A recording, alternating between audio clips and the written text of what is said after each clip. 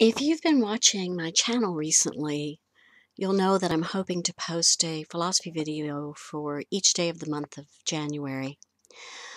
I'm doing it to help myself discover ways in which I'm guilty of what William James was pointing out when he said, A great many people think they are thinking when they are really rearranging their prejudices. One of the questions I've found hard to answer, and one that can lead me to replow the same ground again and again, is one I came across when I was very young. It's a simple question Could we be living in a simulation and not be aware of it? That leads to other questions like what are the implications of artificial intelligence and computer simulations? And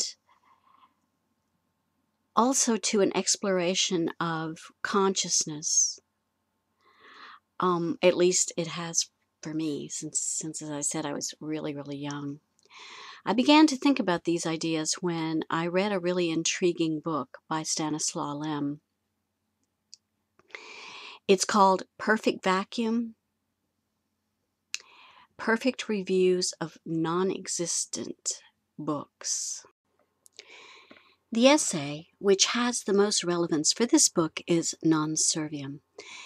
It's an early thought experiment. In fact, and unbelievably, it was published way back in 1971, and it gets to the heart of the moral dilemma which a complex world, simulated world, might create.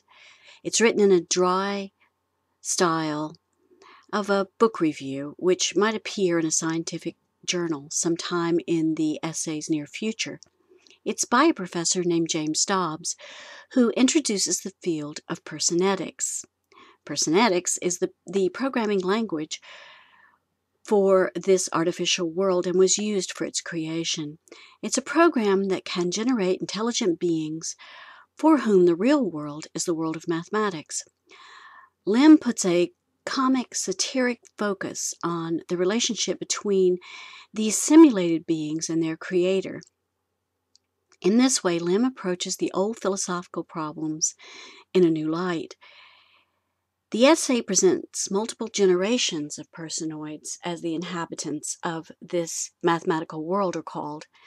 In some ways, the intellectual le- uh, evolution in personetics mirrors those in our own. For instance, a personoid philosopher reinvents Pascal's wager. And his reasoning is expanded by another personoid philosopher called Adan 300. Adan 300 comes to a completely different conclusion from that of Pascal. Adan asserts that, for in all worlds, it is this. When there is no full certainty, there is no full accountability. This formulation is, by pure logic, unassailable because it sets up a symmetrical function of reward in the context of the theory of games. Whoever, in the face of uncertainty, demands full accountability destroys the mathematical symmetry of the game. We have then so called games of non zero sum. Even if somebody were to try to defend God using the argument uh, Adan says, I believe because it is absurd, logic prevents this. What I wish to say is that if one believes in contradiction, one should believe only in contradiction, not at the same time in uncontradictions. If, however, such a dualism is indeed insisted upon, then one thereupon obtains a model of creation as something that is, with regard to logical correctness, patched and is no longer possible for us to postulate because it's not perfect. Lem ends his story with the voice of Professor Dodd, who directed the experiment and who is in fact the creator of the beings, even though they are more and more certain of his non existence. He is their creator, but they are sure that they do not know, owe him anything. On the contrary, he is embarrassed that the experiment which created the New World, must perish when the university refuses to pay his electric bills. Simulation is for Lem an opportunity for, for philosophical experimentation. He's testing some philosophical dogmas and this way showing that many of our beliefs are in fact dubious.